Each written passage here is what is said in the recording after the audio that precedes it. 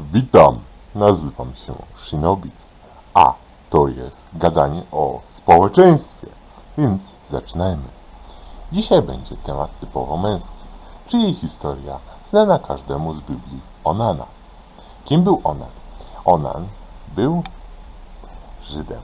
Oczywiście pewnie YouTube mi zdejmie za ten wyraz monetyzacji lub film, ale w dawnych czasach była tradycja, że jeżeli mężczyzna umrze, nie spodziwszy potomka, zadaniem brata jest zapłodnienie żony.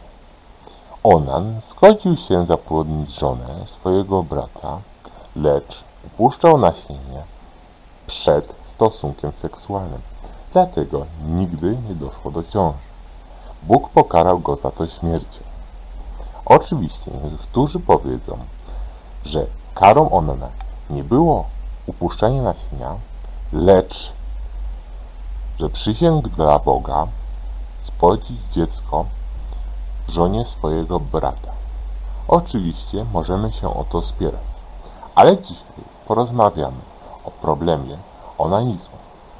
Mówi się, że 90% społeczeństwa regularnie dokonuje tego czynu, a 10% do tego się nie przyznaje.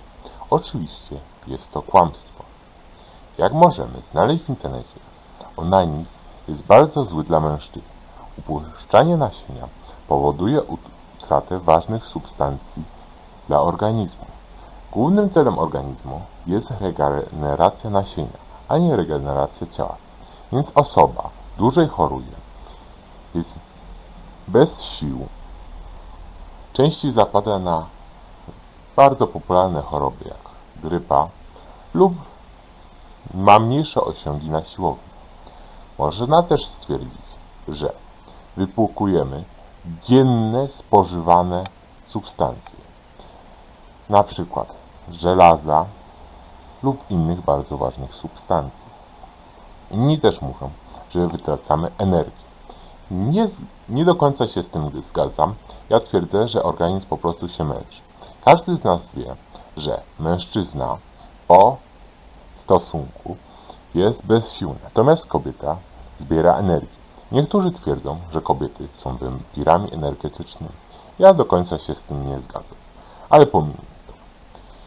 Dla mężczyzn jest najważniejsze zmniejszenie ilości wytrysków. Wiem, że są sposoby na orgazm bez stosunku oraz wytrysku. Porozmawiamy o tym w następnym odcinku, o jednym z tych sposobów. W początku też mówiłem, że 90% to robi, a 10% się nie przyznaje. Oczywiście jest to kłamstwo. Jest wielu ludzi, którzy potrafią ukierunkować swoją energię, żeby dostać orgazm, a nie mieć wytrysku. Dziękuję za dzisiejszą wysłuchanie audycji.